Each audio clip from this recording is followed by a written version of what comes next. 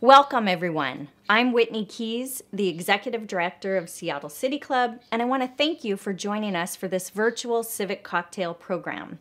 Before it begins, I need to recognize the Seattle Channel as our longtime media partner and Town Hall as our nonprofit program partner. Town Hall's inspiring programs create an engaged community and ensure that everyone has a voice. Our civic cocktail program wouldn't be possible without the generous support of Comcast, our presenting sponsor.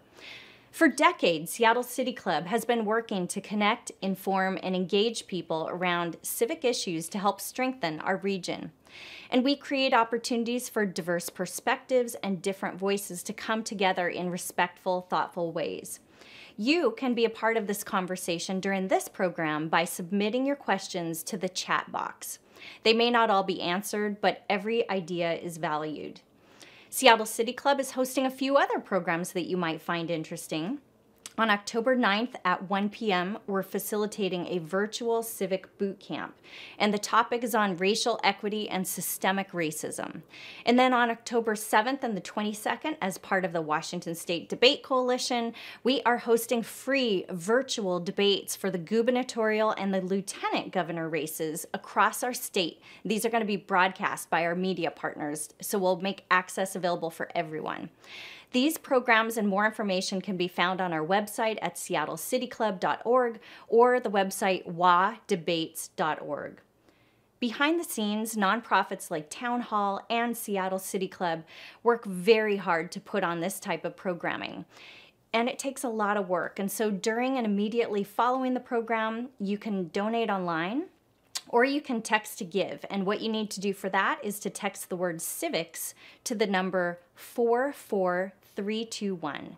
Whatever you give will be split between our two organizations, and I just want to thank you in advance for your support.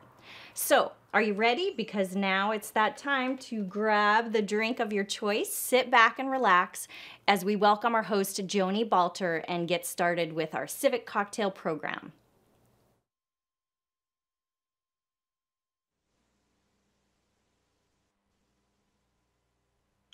Good evening, everyone. Welcome to Civic Cocktail. I'm Joni Balter, and we really do have a great show tonight. We start with the change on the U.S. Supreme Court and its possible impacts on Washington state. Our guests this evening are Senior U.S. District Judge Robert Lasnik and State Senator Manka Dhingra from Washington's 45th District from Redmond. I am so happy to be here with you both, virtually anyway. Uh, real quickly, Judge Lasnik, we will get to our actual topic in a second, but uh, the president just got out of Walter Reed Hospital. He's not out of the woods, however, yet. Can you, as a student of history, remind us how succession works if a president becomes incapacitated? Thanks, Joni. The 25th Amendment uh, allows for a president who cannot perform his duties uh, temporarily to uh, designate that he's uh, unavailable to be president temporarily and the vice president takes over. If the vice president is also unavailable, then if there's a line of succession in a bill passed by Congress, and the 25th Amendment contemplates that Congress would do that. And right now, it's the Secretary of State after the Vice President, excuse me, the Speaker of the House after the Vice President, then the President pro tem of the Senate, then the Secretary of State and the cabinet members. Now, there's at least a little bit of an argument about whether that law is constitutional or whether the Constitution requires only executive branch officers to be in the line of succession, not congressional officers. But we'll leave that for another day. Uh, we will. Thank you. Senator Dhingra, the pie is almost baked. That is to say, Amy Coney Barrett presumably uh, will be confirmed by the US Senate in the next few months. How uh, does the change on the court affect Washington state? You know, Joni, uh, and thank you, first of all. Um, Thank you. It's a pleasure to be here with all of Thank you. you. Um, you know, I'm very concerned about what this does mean for healthcare access for uh, Washingtonians. Uh, I will say that we have done a lot in Washington to protect individuals here. Reproductive health, uh, voting rights, And as we know, when voting rights and especially redistricting get impacted, it impacts, you know, a lot of issues around who can vote, when they can vote, and, you know, how do we exist as a representative democracy. If a woman's right to choose somehow becomes a state by state decision, where will that leave uh, pro choice women in Washington state? So, specifically, we've taken a, a lot of votes in our state on this topic. We have, and I will say that um, I will be so super glad to be living in Washington if or when um, Roe versus Wade is struck down. You know, over and over again, Washingtonians have said that it is very important to protect a woman's right to choose. We have voted on this multiple times um, as uh, citizens, but in 2018 in the state of Washington, we actually passed the Reproductive Parity Act, and I was very glad to vote for that, which actually requires all health plans to cover contraception without any cost sharing and requires all plans that cover maternity care to also cover all reproductive health options, including abortions. So it really makes it clear that the woman has the ability to make uh, choices about her health and not be subject to what is going on with her employer or healthcare provider. And then last, oh, oh, I was just going to say, last year we also did the Reproductive Health Access for All Act, which actually makes sure that we cannot discriminate on the basis of gender identity. And so reproductive health for transgender people is also protected in the state of Washington. Judge Lasnik, when you and I were prepping for this show, we were talking, and you you told me a story about the late Justice Ginsburg, her legal uh, take on the choice matter. It's something people might not know that well. Right. Uh, Ruth Bader Ginsburg was critical of the legal reasoning in Roe versus Wade, and she was actually opposed. Her nomination was opposed by women's groups, uh, partially because of that. But she felt that um, that women were making great progress in the legislative arena, such as Washington State, and uh, that the um, decision to find a privacy right not mentioned in the Constitution left the uh, Roe versus Wade subject to later attack in a way it would not have been had it been focused more on equal protection for women mm-hmm. uh, and the control over their economic future and their uh, reproductive health. So, uh, you know, there were a lot of people who didn't agree with that. Now, there were a lot of people who criticized Thurgood Marshall when he was a lawyer also for not being radical enough on civil rights. But in the rearview mirror, they both seem like giants, both as attorneys and Supreme Court justices. Uh, Judge Lasnik, the de- death of Justice Ginsburg has brought out a little rascal you, you might say, in both political parties. Democrats are talking about term limiting Supreme Court justices or even adding justices to the court. What do you think of these kinds of structural changes? Maybe you'll take them one at a time or both together. Well, I think that uh, we do have a history uh, in this country of um, changing the number of justices on the US Supreme Court. Originally, it was six. Uh, that's because there were three circuits and they needed two justices per circuit. And in those days, this, there were no circuit court judges like there are now. There was a district judge who sat with two Supreme Court justices, and that constituted the circuit.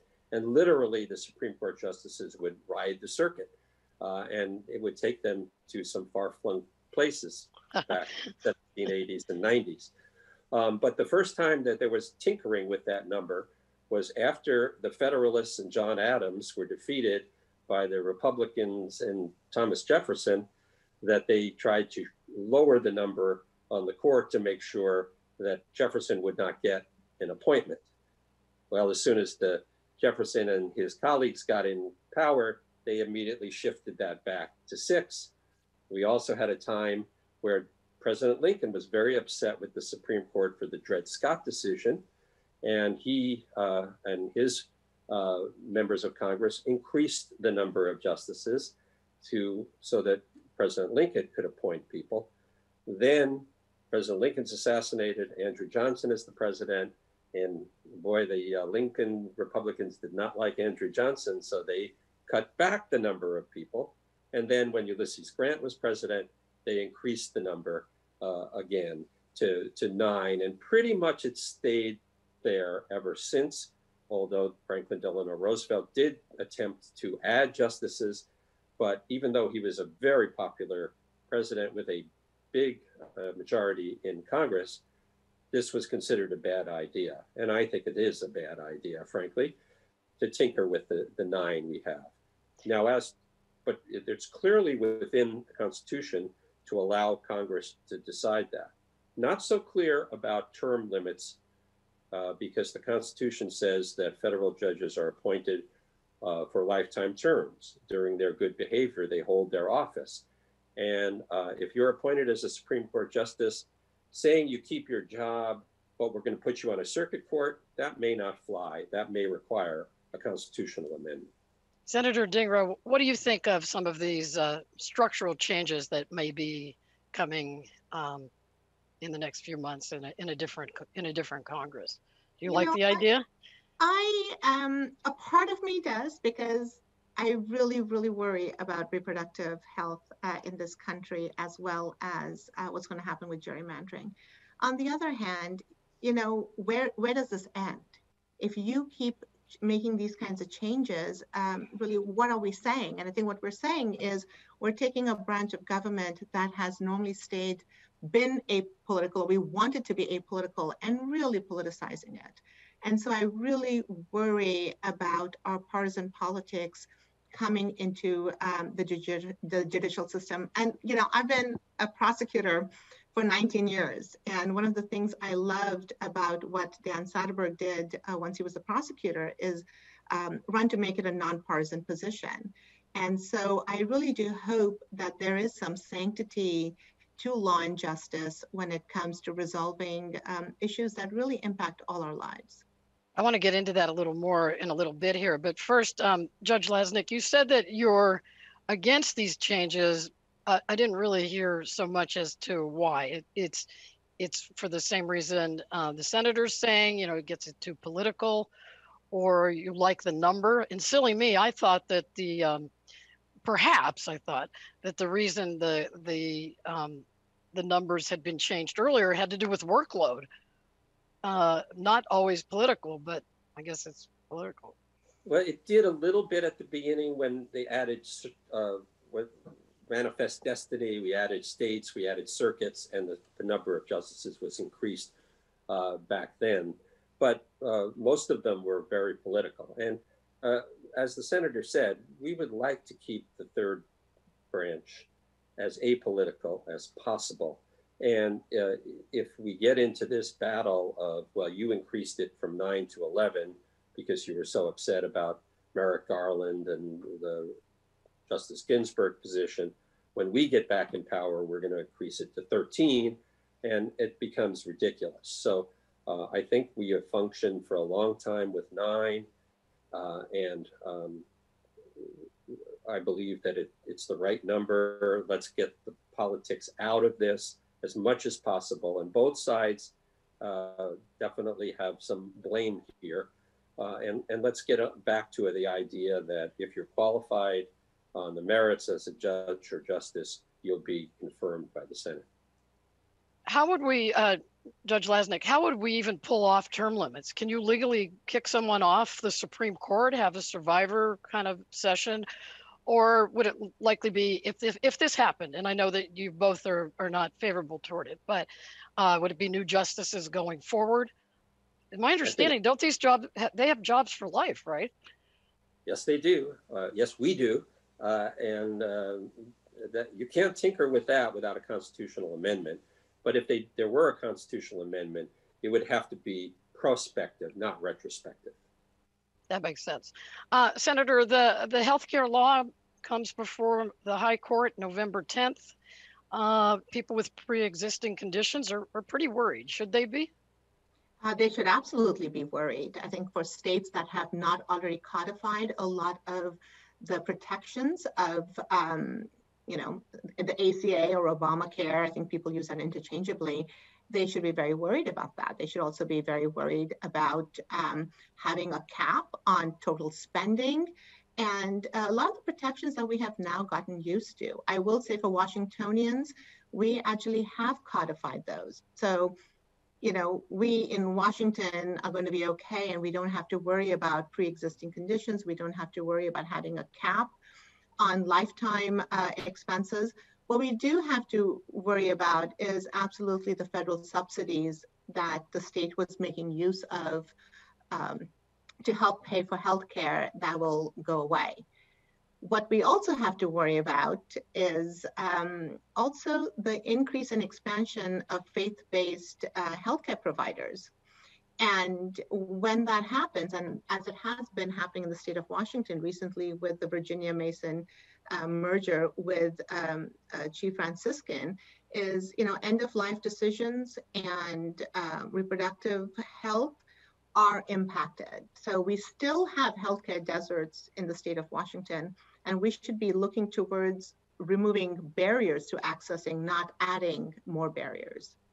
Well, Governor Inslee uh, saw him quoted in the in the Seattle Times this week saying that if the High Court does strike down the ACA or any parts of it, that he wants Washington to offer something itself uh, for for sort of a more comprehensive approach. Do you know about that, and what would the legislature do? What are they talking yeah. about doing? Yes, um, actually, last year in 2019. Uh, we in Washington uh, did something that you're hearing about in the national conversation now about a public option, and it's called Cascade Care. So this is a public option that's available to all Washingtonians regardless of income. And these are for individuals who are not covered by an employer. And this is just another option that's on the market. Enrollment for that is supposed to start this November and coverage will begin in January. And the other thing that we did last year is actually set up a work group that is going to study and take a look at how we can have a pathway to universal health care in the state of Washington. So that report is due to the legislature uh, on November 15th. And so it will outline step by step how the state of Washington can actually go to a universal healthcare model. So for Washingtonians, we are actually in a really good place to lead in these efforts. Uh, judge Lasnik, a federal judge in our state in Eastern Washington blocked post office changes that were slowing the mail delivery. A lot of people worried about this in terms of, you know, a fair election. You know, Washington's been doing vote by mail for a long time, so the worry is not so much about our own state.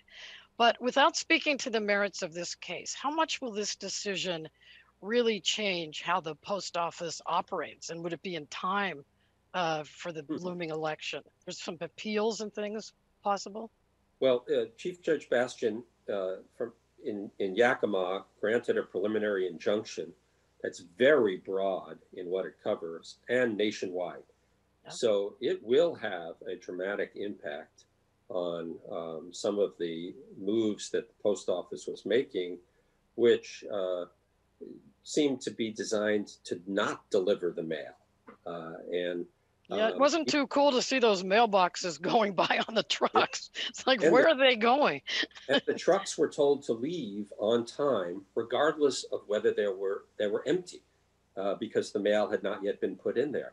So uh, Chief Judge Bastian made some very strong findings uh, that uh, there were 14 states that came together to to file this lawsuit, uh, and it was uh, you know, wonderfully argued by the Solicitor General of the state of Washington, Franklin High graduate Noah Purcell. He and, is indeed a Franklin High graduate. I, and I think that uh, it, you know it, it, can be appealed to the Ninth Circuit or, or, to the U.S. Supreme Court, but I'm sure it has uh, had a, a, very strong immediate impact. So, uh, Senator Dhingra, what is your take on a new Supreme Court's possible impact on voting rights? You know, I really worry about um, voting rights and redistricting with uh, the expansion, with our new um, Supreme Court justice. I think what's happened recently with the Supreme Court um, refusing to really take a look at the gerrymandering that's happened, especially in Wisconsin. Those are recent um, case law on that. Have me really concerned. I mean, the new requirement is that you have to show intentional uh, discrimination, which, as we know, is going to be close to impossible. Uh, you know, we really have to take a look at the impacts that gerrymandering has been having in so many of these different states. You know, we had, um, I think the Wisconsin example was where um, I think uh, the Supreme Court had said that they don't have the power to review gerrymandering maps. And this is a state where Republicans got less than half of the overall votes uh, for state assembly races, but wound up controlling almost two thirds of the seats you know, if anyone who looks at that data is going to say, well, there's something fishy going on. And for Supreme Court to say that uh, this is not something we're going to look at is, is highly problematic. And again, it goes down to things like, you know, uh, states like Ohio have the rule that says that if you have skipped a few elections, they're going to remove you from the uh, voter rolls. Again, that's very confusing, uh, horrible, because we're moving to a system that says if you don't use it, you lose it. And that is not what, um, you know, having one person, one vote means. So I am very concerned about that, and especially as, as how that trickles down to uh, the states. And as we know, a lot of the policies that finally our federal government ends up passing are developed at the state level. They see what states are doing, and when you have a few states that have enacted certain policies, they're working well, that's when the federal government, many times, or Congress will take those um, laws up. But the disparities within all our states are becoming, um, you know, the difference is becoming wider and wider. So we have an audience question from Renee for Judge Lasnik. So this isn't fair, but have you read the uh, Yale Law Journal article by Epson Sitterman I know I mangled that, for reform to keep the court from being so partisan, uh, which is something we're all kind of touching on a little bit here. No, I haven't read that article, but I, I would point out this is a, the, today is the first Monday in October, so the U.S. Supreme Court started their arguments today. And the case that they were dealing with today out of Delaware, um, uh, Delaware said, okay, we want to have an even balance of Republican judges and Democratic judges on our Supreme Court. And so we're going to pass a law that says the Democrats get one, the Republicans get one, and so on and so forth. So we have a fairer, balanced court. And somebody is challenging that as violating the First Amendment because it doesn't leave any space for an independent or a person I from see. a third party to uh, to be appointed uh, justice, and it's all appointed in, in Delaware. So it'll be interesting to see how the U.S. Supreme Court, which is being accused of being the Republican appointees are over here, the Democratic appointees are over there, uh, will they say, "Oh no, that that that can't happen," or will they say, "Well, actually, that might not be a bad idea going forward"? Interesting case, but I haven't read that law review article. Sorry. Uh, Judge Lasnik, um, I wanted to ask you, I actually want to ask you both, but I'm going to start with you, Judge Lasnik, about the tone of public discourse today. And you both touched on it earlier, but kind of this loss of civility, how does that affect even the judicial system? Oh, it's very sad. But I'll tell you, in the courtroom, there's been no loss of civility. The lawyers are still respect the rules of professional conduct it's much more when the politicians start attacking the judges, uh, calling them so-called judges. Uh, that's a good distinction. Okay. Yeah. That's, yeah. Very good. And, and, and it's also, uh, or a Mexican judge with uh, Judge Curiel in the Southern District of California.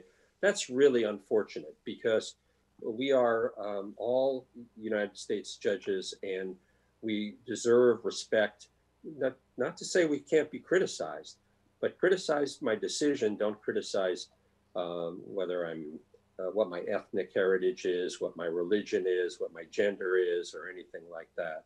And, and I think that that's very, very unfortunate. But make no mistake about it.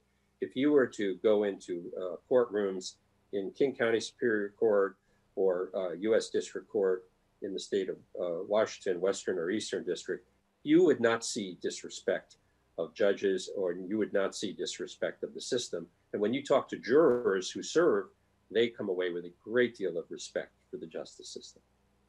Uh, Senator Dhingra, the same question. Um, the overall tone, you, you brought it up a little bit earlier, the overall tone of politics today. You have any thoughts about how we could make it a little more civil? Well, I have so many thoughts on this journey, especially when it relates, uh, relates to the judiciary.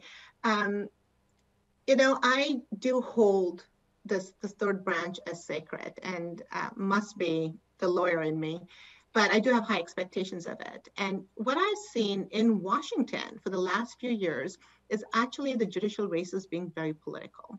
And uh, it was actually brought to me, um, I, Judge um, uh, Shah's race. He was the first South Asian uh, Superior Court judge in King County. And the amount of money and the uh, that went into um, having our people of color judges, when they're running, the opposition they face is so uh, dramatic as opposed to our white judges. And you see it over and over again, especially even at our Washington State Supreme Court level. So I do see politics seeping into the judicial races that wasn't there about 10 years ago. I will say at um, the federal level too, I was I was actually a little heartened uh, to see what uh, John Roberts, uh, Justice uh, Roberts, had done. There were a few cases where I think it could have been extremely political, but uh, there were three that stood out to me where the Supreme Court upheld some of the ACA provisions um, around choice. We had DACA that was preserved. We had the um, law, uh, the case around LGBTQ rights, and that gave me hope that there was still this sacred judicial uh, integrity because of those decisions. So I really do hope that we can continue to see that. Um, I do think with the passing of Justice Ginsburg, I am not as optimistic that we will continue to see that level of just integrity in our judicial system. I think we will get more political. Uh, I think the same goes to what's been going on with our US attorney's offices and um, the FBI. But I'm very hopeful that we can kind of roll that back and really bring that law and justice and that integrity and accountability that people associate with America, that no matter who you are, you are going to be held accountable for your actions. So the optimist in me is, is, slightly optimistic when it comes to the, uh, the other agencies we have. But with the Supreme Court, this is again where I don't know if we're going to see some of the cases and the decisions that were made um, that provided that judicial integrity anymore. Judge Lasnik, uh, you told me that you recently completed your first Zoom trial. What were some of the limits uh, of the technology, or did it just did it just go smoothly? It Zoom really the future. Uh, except for a couple of times when the judge had muted and forgot and started talking. Uh, can happen to anyone, but uh, you know it was a very uh, complicated trial involving um, a child who was born with serious uh, defects. And I had experts from all over the country who were able to testify from their uh, office or from their den. Uh, they didn't have to fly. So, so Zoom, like it does in other things, you can bring in, you know, guests from all over because of the easy access. So maybe has that plus, right? It, it actually did. And it was a bench trial to me, so we didn't have to worry about the jury situation. But Judge Zilly, my colleague, is doing a Zoom jury trial as we speak. Uh, oh, wow. Uh, in like day five or six, uh, where the jurors uh, uh, and all the parties and the judge are all appearing through Zoom. Now, we can't do that in criminal because of the confrontation clause unless there are waivers. Um, but uh, Judge Zilly reports that the Zoom trial is going very well. And my, my trial, I was very surprised. Uh, it went very, very well. So, uh, you know, we're the, we in the judiciary are the last ones to change anything.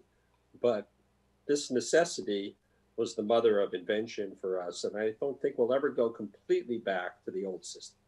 And the legislature, Senator Dhingra, is going to be a little virtual or medium virtual. Can you explain that? Yes, um, you know, I actually am very excited about what's going on with our criminal justice system and, and the court system and using technology. And same is going to be true of the legislature. Uh, we cannot be business as usual because of COVID. So we are looking at a hybrid model, uh, seeing how we, right now we are doing our committee hearings uh, virtually. So, and those have been going well, but we still have to figure out how we're going to do voting and how we're going to, um, you know, manage uh, public input. So there's a lot of practicing going on and thinking through things and developing ideas, but we do have to be creative. But I will say to um, the judge's point is I am actually very excited to look at legislation that helps codify some of um, the new practices that uh, have been going on. You know, one of the things around especially domestic violence protection orders, the manner in which we've been allowing for electronic filing, uh, making uh, changes to uh, serving of those orders. Um, I am very excited to hear from some of the prosecutors, defense attorneys, and judges that in cases where they have been doing voir dire for juries uh, virtually, they have seen a much more diverse jury pool than when people appear in person. Uh, Another plus, then, right? Yeah. So there and I have to and, and I have, that have come out of this. A lot of yes, and I have to leave it right there because we have been discussing the pending confirmation of a new Supreme Court justice and its impact on our state with State Senator Manka Dhingra and Federal District Judge Robert Lasnik. Up next, you've probably heard that Seattle has been labeled an anarchist city. We're coming back shortly to discuss the media's role in our stranger and stranger national reputation.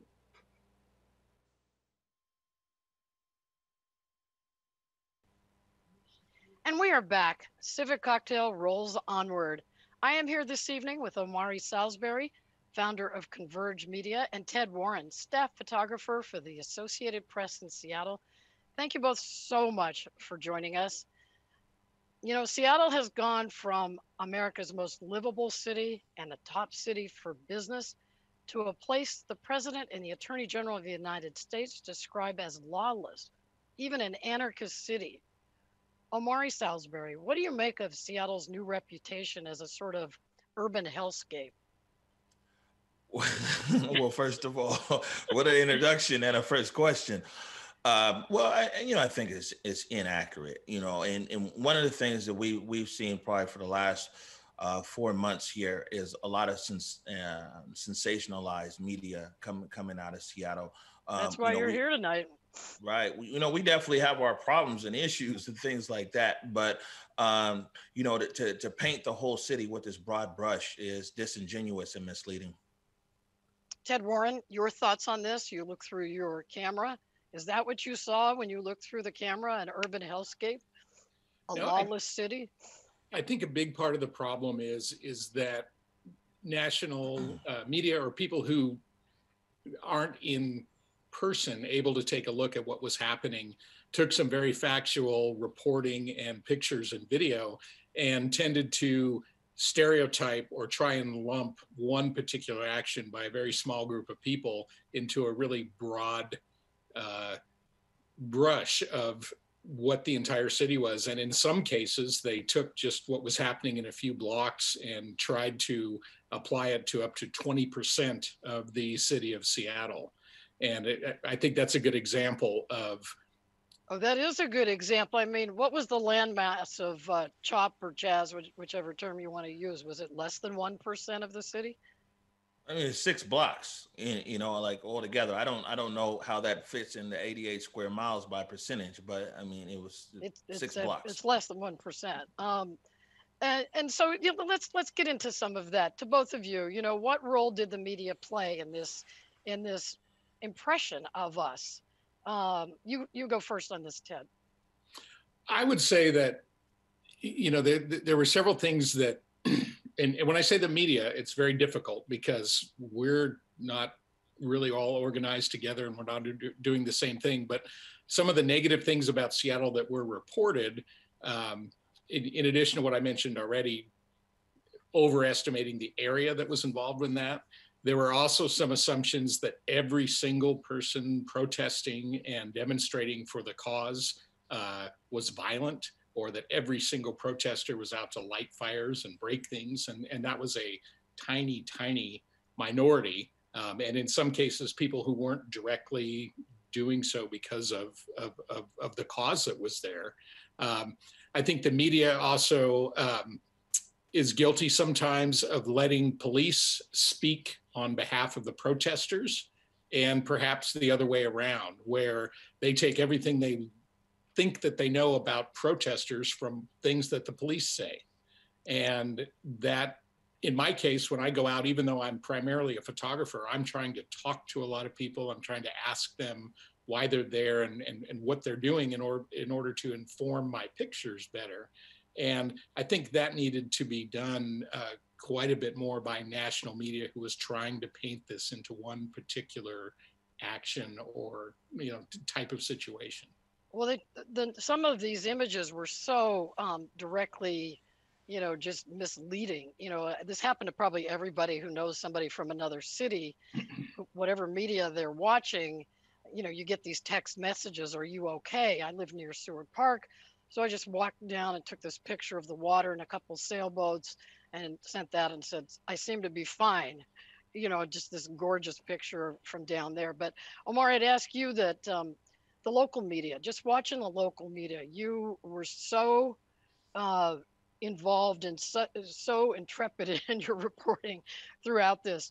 Did you did you see local media? Do you have an example of a local media person who kind of just hyped it, got it wrong, took it to the limit that it didn't need to well, go to? Well, I mean, so it, it, was it was a lot going on, and I, I just wanted to point out to a few things here where where where the where the people really where local media really kind of might have got it wrong initially was that they took everything that SPD said for as as truth.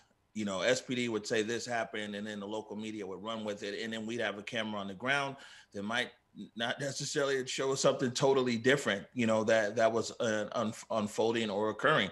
I mean, that pink umbrella incident is is a perfect example. You know, tell SPD us about the out, pink um, umbrella incident. Yeah, the, that was that was the flashpoint. It was June first, and you know, I was I was there. A lot of people they they know that footage uh, right there on the on the western. Tell us about barricade. the footage. Not everybody knows. Sure. It. Okay. Well, it was right there on the western barricade.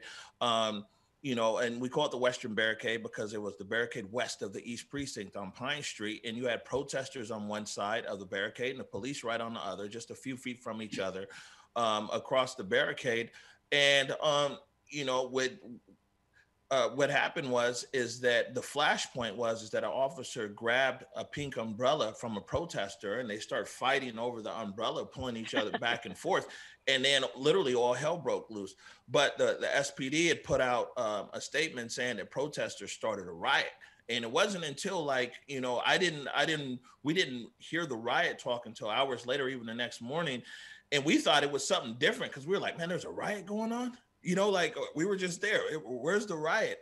Uh, uh, and it you know it turns out that like the next day then people looked at this footage even later on that night and it was like oh well actually this whole thing started when an officer pulled an umbrella. I mean another example of that is when the police june 8th when the seattle police department uh, abandoned the east precinct. I was there on the ground. Seattle police department said that they were just reducing their footprint and you know they were they were they were still operating I'm there. I see them putting up boards, putting up fencing. And I'm on Twitter saying as Seattle Police Department is evacuating, they're abandoning. And a lot of the local media pushed back on me initially because it's like, no, Seattle Police Department says they're just reducing their footprint. And so, you know, I just turn on my camera and go live. I'm like, yo, well, they're definitely moving out. There's moving trucks and everything else. But the biggest thing of where I think um, local media just kind of jumped on something was where they retweeted this tweet where you know, there was like 30 different chop accounts. Everybody made some chop account. And there was also a whole nother story. There was a lot of foreign governments and all kinds of stuff when chop was going on. It was a big misinformation campaign, well beyond just your local people. But anyway, there was a chop account that said the chop was over with and it was dismantling and everything. And I was out there on the ground, and this is, it wasn't even local media, but also national media. And I'm telling the, the some of the local people, as well as national broadcasters, like, listen, this chop isn't folding up. It's not going anywhere. I've been here for like, you know, 20 some odd days. It's, it's, you know, what you've got is false information. And even though I'd been on the ground, knew all the players there and everything else, and I'm telling them that this was a fake tweet or fake news, they still all went live and said that the chop was was was closing up. Um, and you know, and and actually, the end result of that is really the energy behind the chop was winding down that day. You know, the previous days it was winding down, but that running with that fake news uh, energized the chop. It, it brought people back into the chop. And so we saw firsthand that people like, you know, to push the story just disregarded the facts that, that were on the ground and disregarded people who were experts on the ground. You know, we were totally disregarded. We, we tried to tell people what the what was going on, uh, but it was more important to just get their story out. Yeah. So uh, maybe one of the b- best known examples of the media getting it wrong, and I mean it sounds like intentionally wrong, is the Fox News reports. And Ted, you're a photographer and you've looked at the images and you had you were there on the scene as well. Can you sort of explain to us how Fox News did that? They digitally altered photos and changed the story that they were sending out of what actually was happening. Yeah, this was on the uh, Fox News national website, and they took still photographs that um, were taken by a couple of good friends of mine and colleagues, um, primarily David Ryder, who was shooting for Reuters, and also Karen Ducey, who was shooting for Zuma. And they took these pictures and combined them with Photoshop. Um, the primary image was a picture of a um, member of the volunteer security um, in the CHOP zone who they did carry um, in, in, accordance with open carry laws, um, very large guns. And one of them was standing in front of a car when his picture was taken by David. But the people at the National Fox News website took that photo, cut it out, and put it in front of a composite of two different pictures of downtown Seattle where windows had been broken and looting had been taking place. So they literally took this guy who was in the chop and put him downtown uh, days and days apart as a composite image. They also took him and put him in front of the entrance as if he was standing there by the sign that says welcome to chop saying hey don't come here i've got this gun and we're guarding it and, and that's completely false from what was happening um, the third thing that happened on that same website is there was a, a headline that said seattle in flames or something like that with um, a picture of a big fire and a guy running past a fire and kind of a protest situation that was taken in st paul minnesota and so all these things were put together to make whoa. Seattle whoa, look whoa, like it was, you know, yeah. overrun. And uh, uh, that, that was through computers. And anytime that you question or take away from the truth that is a photograph, because it's a it's a carbon copy of what's in front of your eyes, anytime you violate that, it's a huge erosion of trust, and we take that extremely seriously. And I remember it was uh, my former colleague at the Seattle Times, Jim Brunner, who broke that story about this digitally altering these photos. So, Omari, you mentioned a little bit about social media, but overall, I guess, did did social media help or hurt uh, the image of this city or, or around the country? I guess around the world. Well, you know, I mean, so social medium is social media is just a medium. Um, you know, what what really hurt the city is people who who had their own agenda either way you know and they use social media as the tool. Social media is definitely not the enemy of anybody. It's the people who are pushing the messaging. And you know i mean it was just a lot of people who had different agendas. They, they've already had agendas well before chop and this created an opportunity for them to be able to to to push that. You know i mean one of the things where our, our stream really t- took off and i didn't realize it until after the fact so many people would be like, hey, you know, my, my mom lives in South Carolina or my, my, my, my dad lives in Maine and they watch your stream because they hear all these things on the news and they're able to watch your stream. Cause, you know, I would walk the chop a few times a day. We morning, midday, and night. I would just walk and show people, you know, what's going on out there. Did you stay overnight and, in the chop? I lived in the chop for 30 days. I wasn't, but but I wasn't in the tent though. We we we happened to have an office that was right there. It was a temporary space right there next to the East Precinct. So I was literally in the chop for 30 days. You know, every day I was I was on the ground, and um, you know what what we saw was that people were able to just make up anything and run with it. And, and I was telling Ted before that the AP actually one time called me just so they could myth bust because there were so many myths that were out there about what was going on. And I would sit on the phone with the AP and tell them like, no, that's not true. That's not true. This is true. Um, and and so you know, so social media just exposed people's true agendas about our, our city and how they feel about the city. I think that, you know, that that's what occurred. So Ted, you have some photos lined up that you're going to share with us and show us uh, some things that you took, you some photos you took that you found compelling uh, during those protests. Um, you ready to go? Can do share screen and show us show us some of your work, please. Okay. Uh, let me know when they're up. I believe they're, uh, Norm's going to put them up. If I'm correct. There you go. There Okay. you go. Are they up? Yep. Okay, so this first picture is um, a picture of the same uh, volunteer security person who was the the famous one in the manipulation. But this was a real picture um, that I took of him, and this was actually the the morning after one of the deaths that happened near uh, the chop. And so we were there because of this situation, and it's important uh, Omari and myself and anyone else who was trying to accurately report from the scene, we're not trying to hide or or diminish anything. I have no agenda being there. I'm going to be there to show whatever is happening. And so this was this guy was on patrol. He's carrying his gun, um, but it is in a real situation. It's where he was at that time, and the caption talked about what he was doing, and and we felt that that was important um, to show that that was an aspect um, both that they felt they needed that type of security there and that how people would react to that type of security walking around. Next photo. oh, Second oh, picture.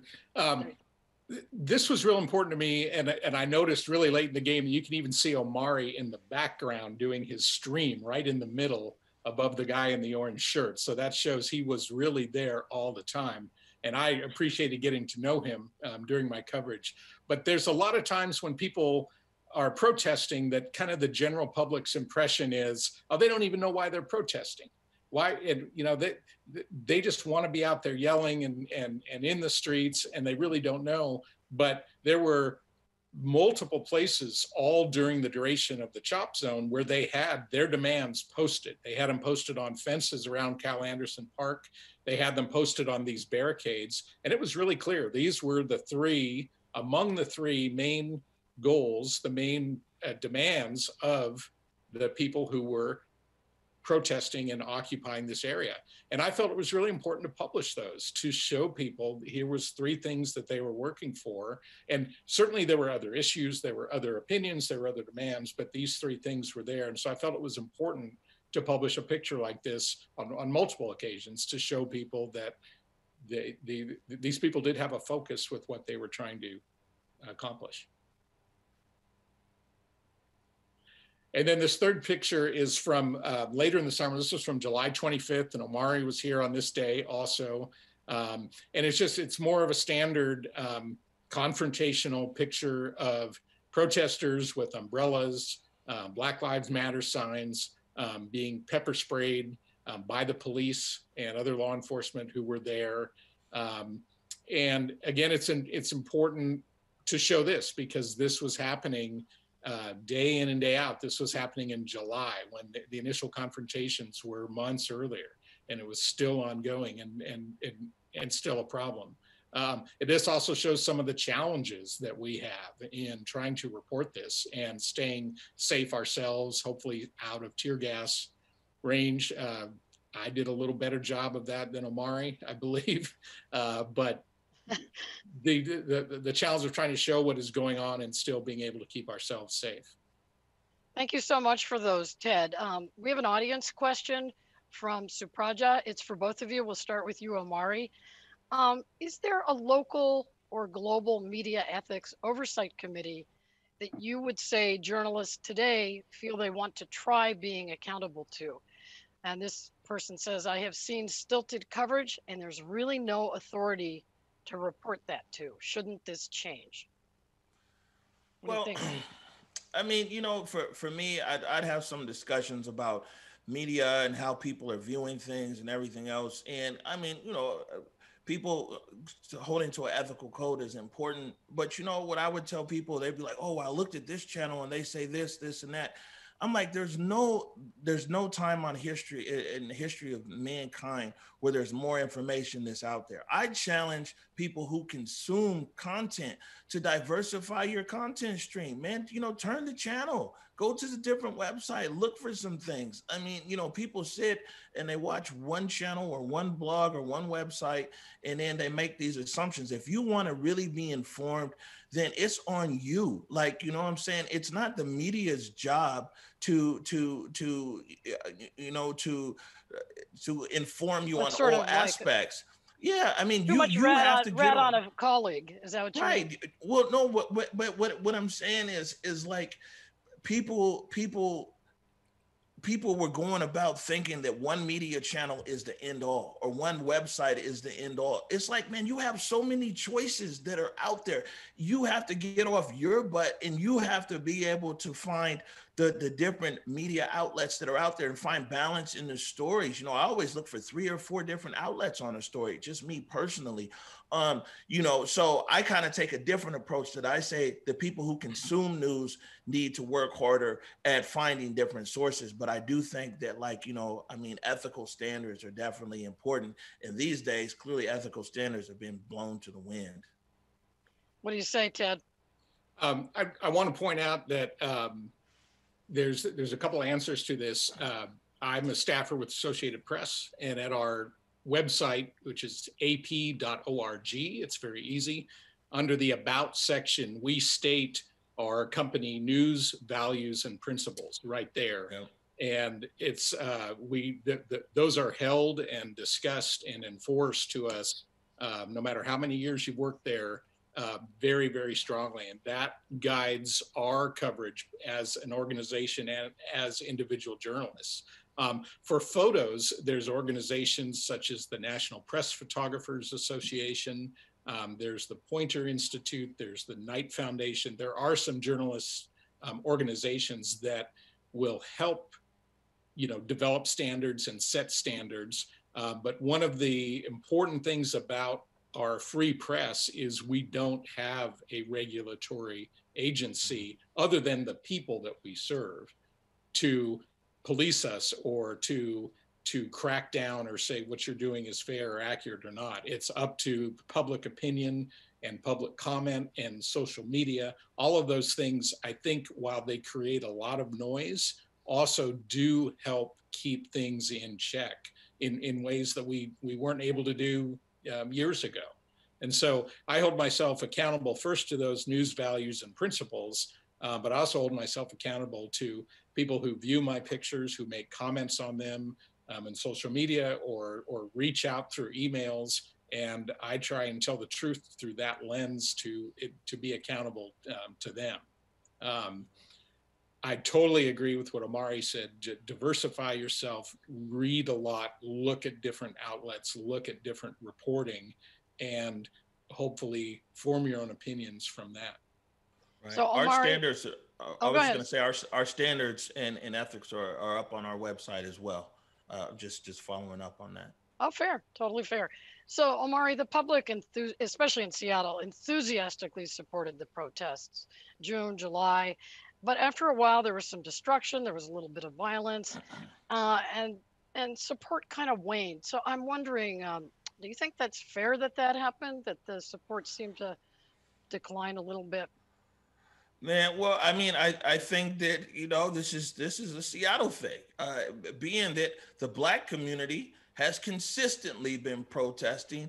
And, you know, they've been out there every day. Uh, Africa Town does stuff in the Central District, thousands of people. You get you get Coach Dom, Community Passageways, Willard, Willard Jefferson, United Better Thinking out there at the South End. Thousands of people come out. No police, no destruction, no anything, you know, and, and Black people are in their community and they're protesting, they're doing teach-ins and everything else, and nobody cares you know, I mean, where's the enthusiastic support for, for the black people that are that are rallying all the time? Seattle doesn't care.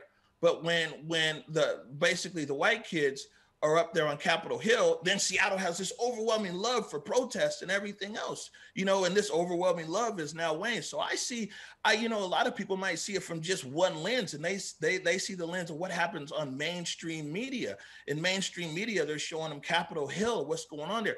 Black people have been peacefully protesting, doing teachings, learnings, rallies, concerts, everything else, and nobody cares. So when you say that Seattle has been in love with the protests, they ain't been in love with black folks. They've been in love with the white people that they see up on Capitol Hill protesting. So I just want to be clear with that. You know what I'm saying? Let's That's let's fair. be no, honest. you're fair. You're fair. Uh, I want to take a, a, another step here, and this is something you and I spoke about when we were prepping for this show. You said that the protests are winding down now for an actually very positive reason, that they got results. Well, you know, I mean, people believe me. The people they're still out there in the streets. They're the morning march, the Absolutely. evening march, and everything else. But what I was saying is that in in Seattle, unlike a lot of other cities, a lot of other cities, you know, protest was out there for a few weeks and it hit its expiration date. In Seattle, whether you like it or not, or whether you agree with this movement or not, in 90 days, you know 100 days it went from uh, the western barricade to legislation in in city hall city council. They put up something they voted the mayor vetoed it they overrided a veto and you know and they've moved on. There's nowhere else in america. This is warp speed.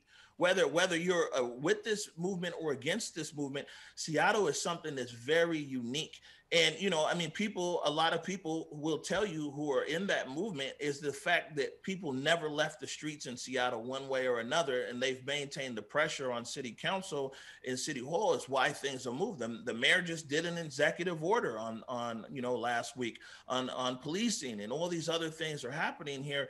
In a uh, you know it's it's happening very rapidly in seattle unlike almost anywhere else in america um, probably because people are in the streets and it's the it's the right mix. There's other cities where people are in the streets, but things aren't really happening in City Hall. And then there's other cities where people just knew nothing was going to happen, and so they they protested for five days and life moved on. Seattle is very unique.